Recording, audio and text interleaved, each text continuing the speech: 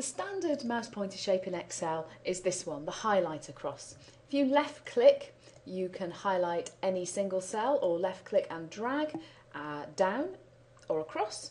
You can highlight a group of cells.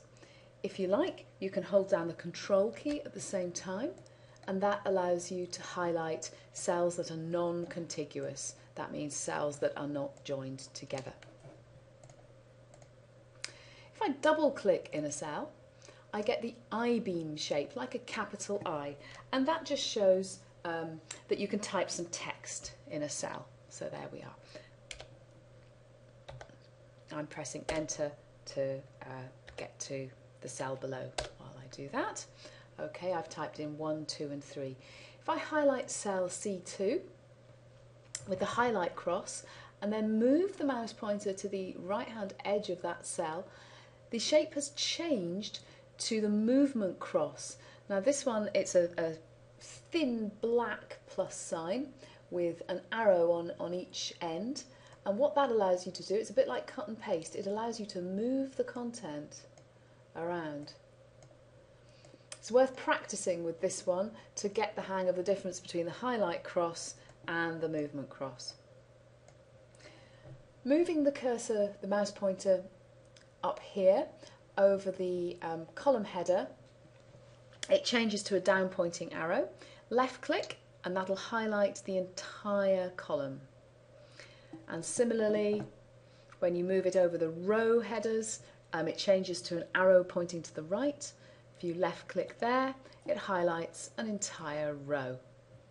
Now, if you move the cursor, the mouse pointer, between, on the grid line between the two rows, the shape changes again. This one allows you to uh, resize a row, there we are, by left clicking and dragging. And very similarly, if you go up to the header row, click on the grid line between two columns, you left click and drag to resize a column.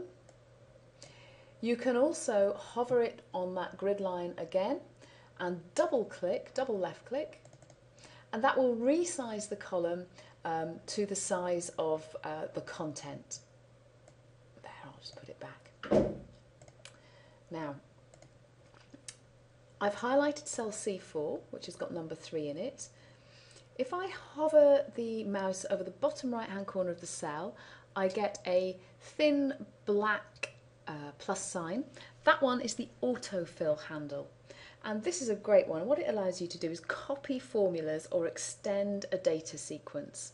So here we've got one, two, three, which is a, uh, a number sequence. Um, I've used the let's just do that again. I've used the highlight cross to highlight all three cells, the whole sequence, and then I'm hovering the mouse over the bottom right hand corner um, of those three highlighted cells so the autofill handle appears.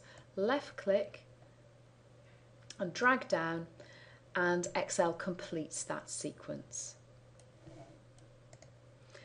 So just to recap, here are the eight mouse pointer shapes we've seen today.